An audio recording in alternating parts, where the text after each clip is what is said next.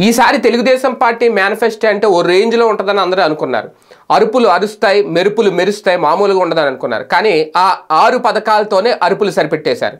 కేవలం super six అనేది తీసుకొచ్చి ఒక ఆరు పథకాలని అది కూడా పూర్తిగా మహిళలకు సంబంధించి మహిళా శక్తి అని ఒక పేరు పెట్టారు. కానీ ఆ ఆరేనా ఇంకా ఏమన్నా ఉంటాయా? ఆ ఆరు అరిసిన అరుపులేనా ఇంకా కొత్త అరుపులు ఏమైనా వినిపిస్తాయా? ఇది చాలా కీలకం. ఒక పక్క వైసీపీ ఇంకా మేనిఫెస్టోని ప్రకటించలేదు కొత్త మేనిఫెస్టోని. ఖచ్చితంగా ఆ పాత మేనిఫెస్టో కంటిన్యూ చేస్తుంది. వాటికి ఏమన్నా మెరుగులు దిద్దొచ్చు కొత్తగా ఏమన్నా ప్రకటించవచ్చు అది దగ్గరలో చేయొచ్చు. తెలుగుదేశం పార్టీ ఆల్రెడీ ఒక ఆరు పథకాలు ప్రకటించేసింది. కాకపోతే వాటికి ఆ స్థాయి అంత స్థాయి ఆదరణ అయితే రాలేదు. కాకపోతే ఇంక చెప్పుకోవాలి కాబట్టి అవే చెప్పుకుని ప్రజల్లోకి వెళ్తున్నారు. కాకపోతే అవి ఆల్రెడీ ఉన్నాయి కదా కొత్తగా ఏముంది అనేది. కాకపోతే దానికి కొంచెం మెరుగులు దిద్దేశారు ఆల్రెడీ. సామాజిక పింఛన్కి చెక్ పెడుతూ పద్దెనిమిది ఏళ్ళ నుంచి యాభై తొమ్మిది ఏళ్ళ వరకు పదిహేను వందలు ఇచ్చేస్తాం ఇంట్లో ప్రతి ఒక్కరికి అనేది.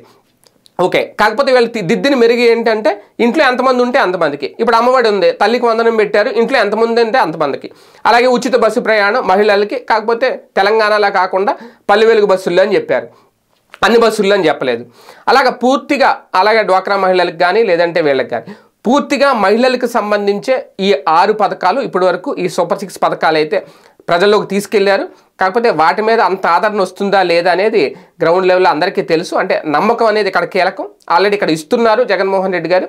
రేపు వస్తే మేము వాటిని ఇంకా మెరుగ్గా ఇస్తామని చెప్తుంది తెలుగుదేశం పార్టీ. కాకపోతే వాటి మీదే బేస్ చేసుకుని ఉంటారా?